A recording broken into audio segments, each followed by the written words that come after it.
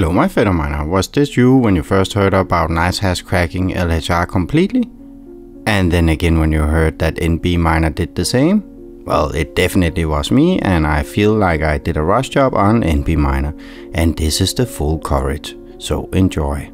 We are going to have a look at NB Miner 41.0 full LHR unlock in Ethereum. Yes, finally, something awesome in Windows and HiveOS changelog, graphic cards, overclock settings including how to set up in HiveOS, how to set up in Windows 10, results, conclusion, profits, change log 100% LHR unlocker added for both Windows and Linux.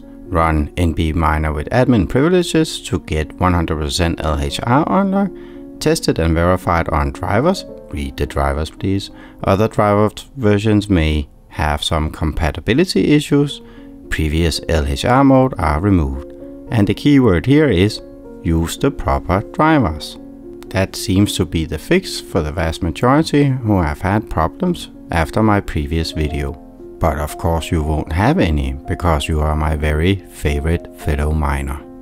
Quickly moving on like a ninja, uh, we're going to have a look at the RTX 3050 from MSI, the Ventus 2X, the RTX 3060 LHR version 2 from Zotac Gaming. It has been working perfectly in very good quality to be honest. The RTX 3060 Ti from Asus, their TUF series. No, that is actually the wrong picture. There. Now we have the right one. The graphic card comes with two balls of steel in each fan. Military grade. Yes, yes. A piano was dropped on my head as a kid, so I am legally excused. We also have the MSI Ventus 3, which is also an RTX 3060 Ti rocking Hynix RAM. But this time it's a revision 2 and that means it can actually clock up to 1700 in Windows or 3400 in HiveOS. This very nice card is super slim and super noisy. Then we have the RTX 3070 Uh, iChill 4X from Inno3D. It's actually surprisingly good. The quality is top notch. I have not changed anything. It's super cool actually.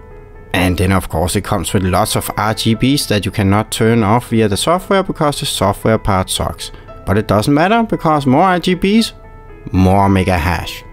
Up next we have the RTX 3070 Ti from Zotac Gaming, also known as the DIY 3070 Ti because it drops thermal padding and comes with screws that have fallen out. I actually expected the quality to be uh, on par with their RTX 3060, oh boy was I wrong, what a pile of poop. And then we have the RTX 3080 LHR from Gigabyte, Vision Overclock Revision 2. It's actually quite good looking, but I wish you could get it in black brushed metal instead, even though it doesn't really matter because it's part of my mining rig and I never see it. The RTX 3080 12GB RAM edition from Gigabyte, the Gaming Overclock LHR Extreme. Okay, it's not actually called Extreme. Unfortunately, my RTX 3080 Ti is on vacation and will be back after repairs.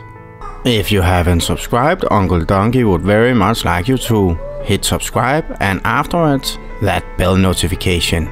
Yes, the bell so you can get spammed even while you sit on the toilet.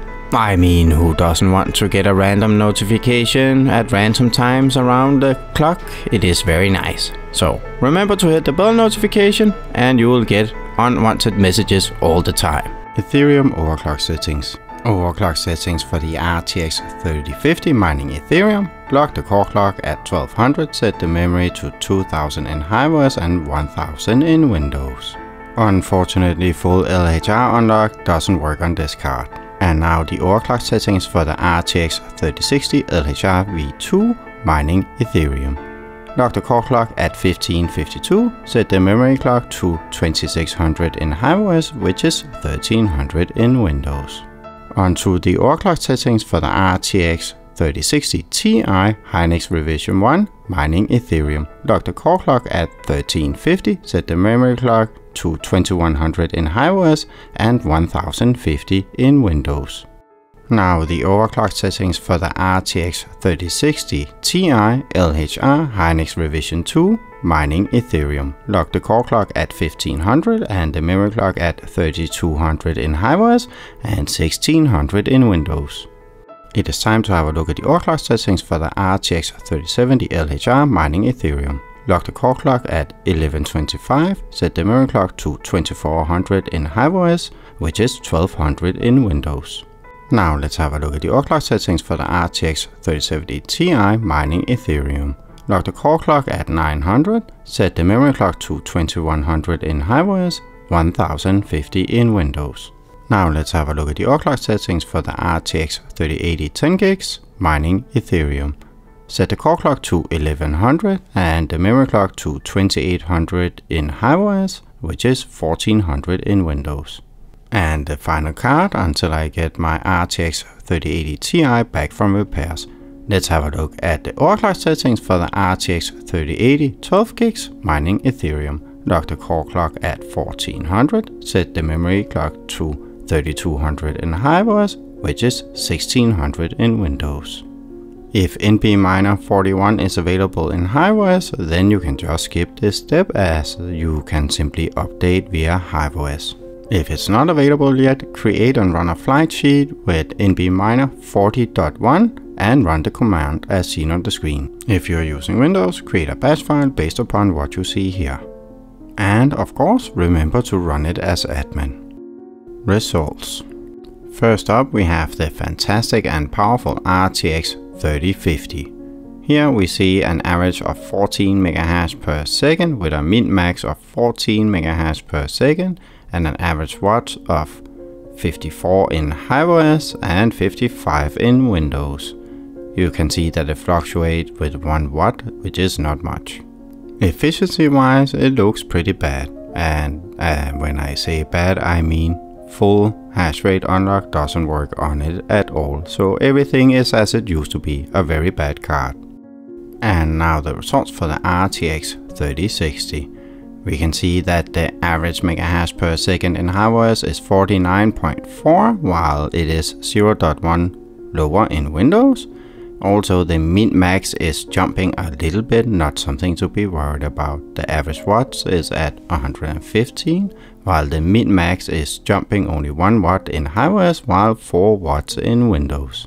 The average efficiency is pretty much the same with HiveOS having an efficiency of 0.430 and Windows being 0.001 less. So pretty much the same. The core temperature is 1 degree higher in HiveOS while the minimum is the same in Windows and HiveOS.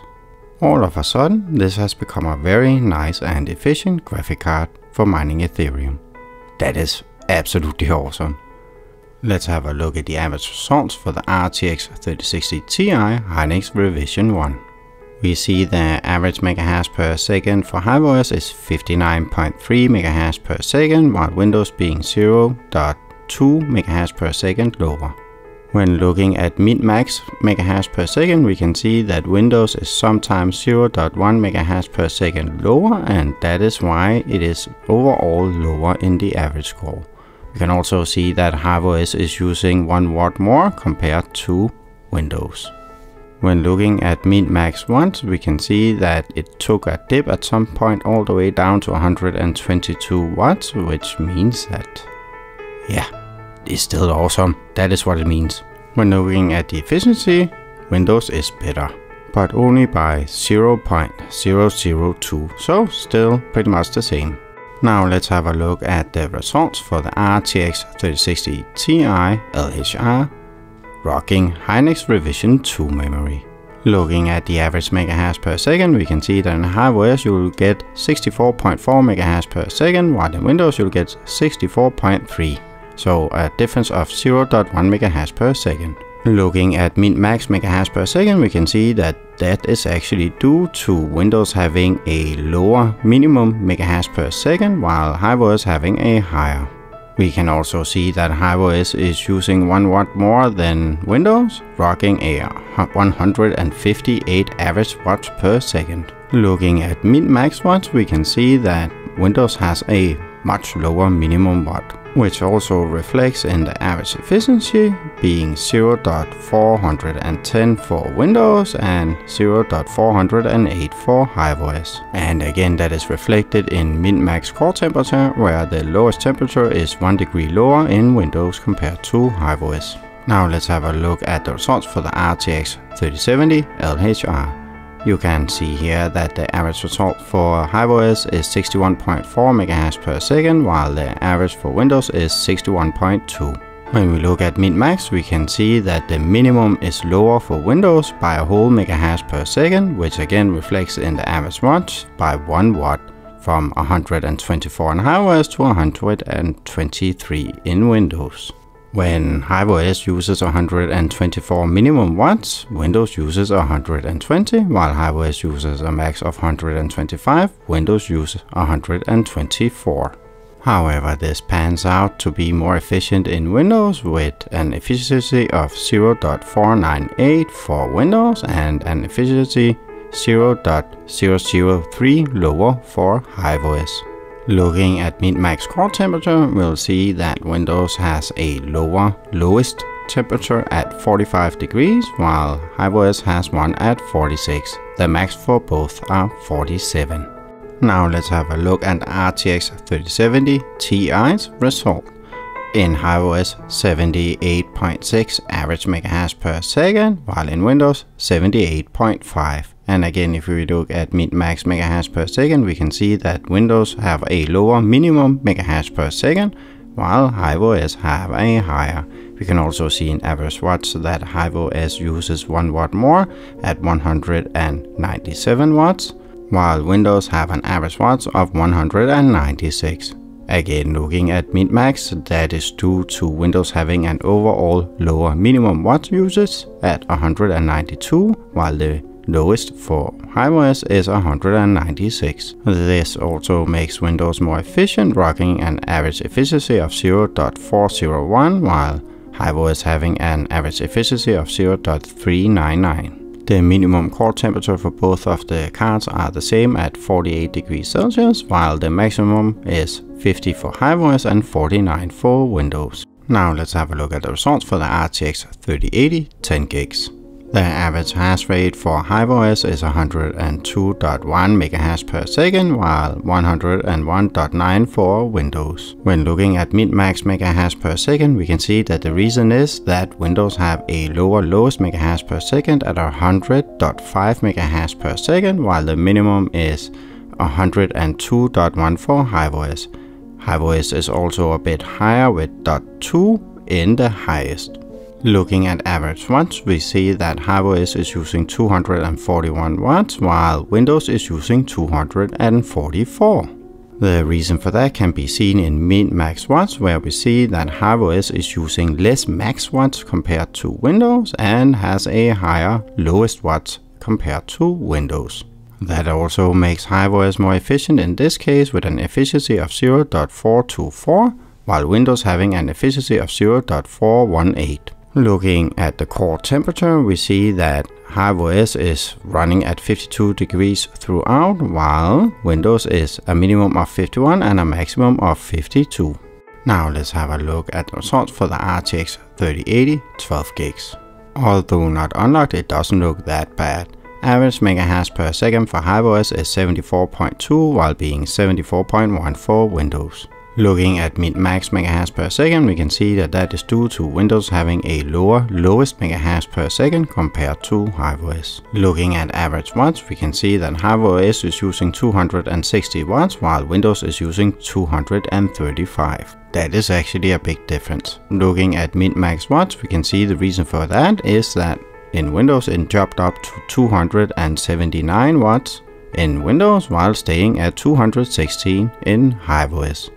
Looking at average efficiency, we see 0.344 for HiveOS and 0.315 for Windows. Core temperature is also 2 degrees higher in Windows.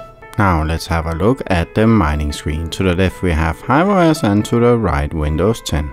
Gotta love that grey out Windows 10 look though. What is pretty apparent here is that HiveOS doesn't show memory temperature while it is actually shown in Windows, which is super nice. That said, Hyvo UI actually shows memory temperature just fine. Before we move on to profits, please be so very kind to share your results in the comments, including your overclock settings, graphic card and which OS you're running. And also give the video a like, I really appreciate it. Conclusion NB Miner 41.0 full LHR unlock works really well in both Hive OS and Windows 10, with the exception of LHR v3 cards like the RTX 3050 and RTX 3080 12 gigs. I really do hope they manage to unlock those as well. It is going to be very interesting to see which effect this will have on Ethereum profits in the long run. Well, we are going proof of stake soon anyway, so in the short term I guess. I hope you enjoyed the video. If you did, then please like. If you haven't subscribed, subscribe and help me out by sharing the video with someone you know and for us and everywhere you can actually. I really appreciate it. And for you who said that this is the end of my channel, pretty far from it. I'm covering a whole range of different cryptocurrencies, not only Ethereum. So go check out my channel for other videos. I will release a Flux video within the next couple of days. It should have been out now, but you know with LHR full unlock, well I just had to do that first. Now I'll leave you with the profits. You will be able to see both Windows and Hive OS profits for the different cards. Enjoy and I hope to see you in the next one. Profits. Ka-ching!